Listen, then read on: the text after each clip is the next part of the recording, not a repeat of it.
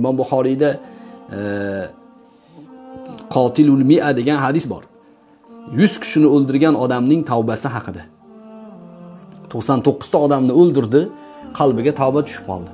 Tavba qilishim kerak. Unga boshini urdi bunga borib iltimos qildi nima qilsam bo'ladi? Bir ibodatli odamni ko'rsatishdi. Kelib shundan so'radi.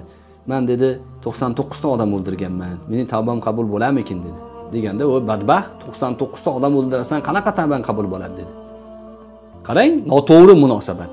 Bilmaymizki uni tavbasini olloh qabul qiladi. Anavi odam shu ibodatlik edi allohga ko'p sajda qilardi ilmi yo'q edi. Vaziyatni bilmadi. Oldindan gapirdi qadarga daxl qildi. Aytdiki seni tavbang qabul bo'lmaydi dedi. E, qayerdan bilasiz tavbasi qabul bo'lmasligini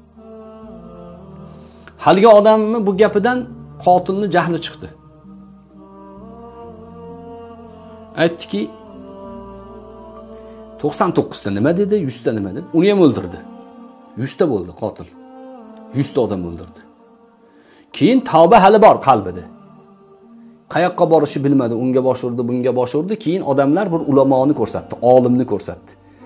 Ilmning sharafi bu. Hadis sahih buxoriyda bu. Do'stlar birodarlar ilmning sharafi bu. Ilmsiz bo'lmaydi bo'lmaydi. Olimni oldiga bordi. Olim aytdiki ollohni rahmati dedi. San qilgan gunohdan chandon chandon keng dedi.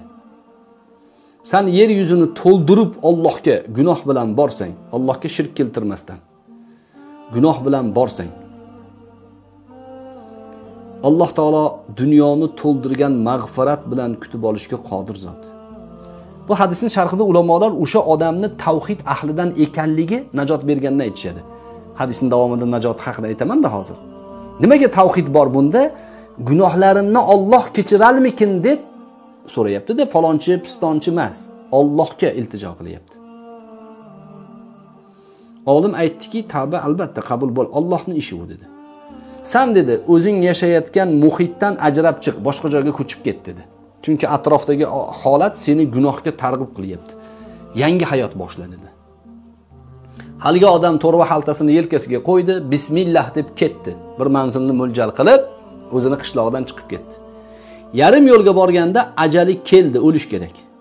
Shunda rahmat farishtalari bilan azob farishtalari kelib buni jonini olishni talashib qolishdi. Azob farishtalari aytdiki bu qotil dedi yuzta odamni jonini olgan qatl qilgan. Buni biz olamiz deyishdi. Rahmat farishtalar aytdiki bu tavba qildiku deyishdi. Tavba qilib tavba yo'lida ketdi alloh taolo tavbalarini kechiradiku.